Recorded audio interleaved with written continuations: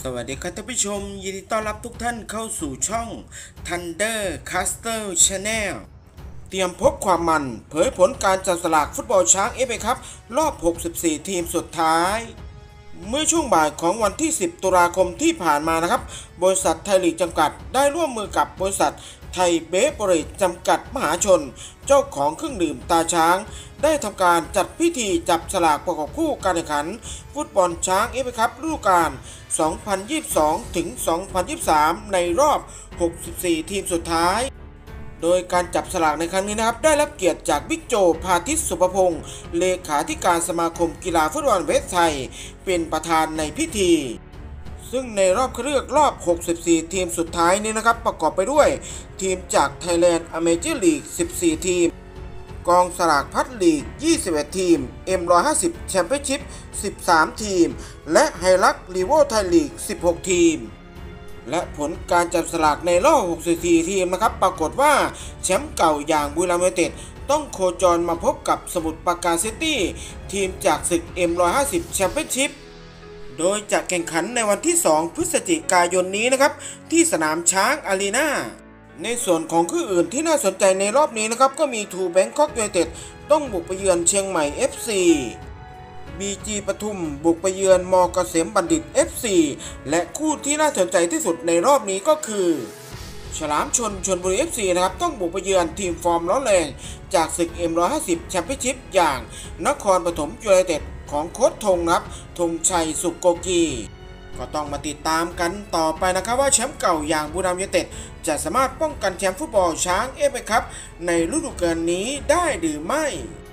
มาที่เรื่องต่อมานะครับลือสะพัดส่อลาบุรีรัมย์โจนาธาน โบลินกิเตรียมหาทีมใหม่ หลังทำผลงานได้น่าผิดหวังในไทยลีกฤดูกาลนี้ JB โจนาธานโบลินกิ หัวหอกทีมชาติดีอาร์คองโกของบุรีรัมย์ยูไนเต็ดนะครับ ตกเป็นข่าวเตรียมย้ายทีมอีกครั้ง หลังไม่อยู่ในแผนการทำทีมของบุรีรัมย์ยูไนเต็ดโดยในฟุตบอลไฮลักซ์หรือว่าไทยลีกในฤดูกาลนี้นะครับโจนาธาน โบลินกิลงสนามให้กับบุรีรัมย์ยูไนเต็ดไปถึง 6 นัด แต่เพิ่งจะมาปลดล็อกทำประตูได้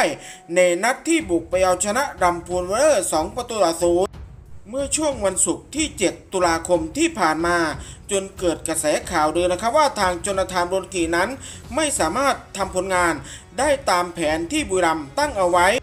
โดยในไทยลีกฤดูกาลที่แล้วนะครับ ทางโบรกิถล่มประตูให้กับปราสาทสายฟ้าถึง 16 ประตู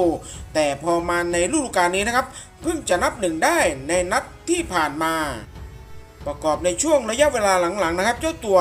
ไม่สามารถที่จะควบคุมอารมณ์ได้อยู่ และเล่นนอกเกมใส่คู่แข่งในหลายๆ ครั้ง จนทำให้สุ่มเสี่ยง ที่จะทำให้บุรีรัมย์ยูไนเต็ดเสียเปรียบคู่แข่ง และล่าสุดนะครับก็มีกระแสข่าวลือหนาหูว่าเอเย่นต์ส่วนตัวของโจนาธานโบลินกินั้น ได้ยื่นข้อเสนอให้กับทีมต่างๆ ในศึกไทยลีกให้พิจารณาในเลกที่ 2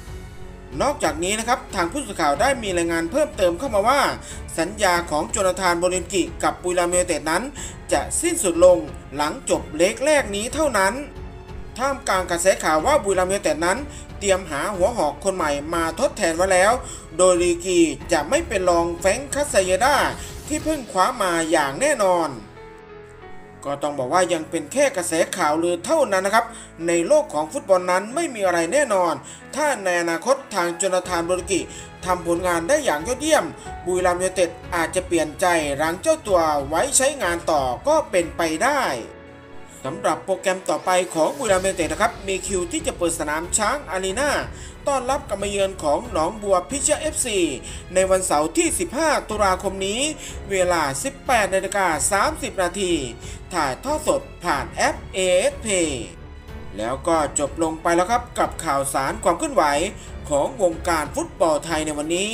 สุดท้ายนี้ขอขอบคุณแฟนคลับทุกท่านที่รับชมคลิปนี้ ใครชอบอย่าลืมกดไลค์ กดแชร์ กดติดตาม และกดกระดิ่งแจ้งเตือนกันด้วยนะครับ แล้วพบกันใหม่คลิปหน้า สวัสดีครับ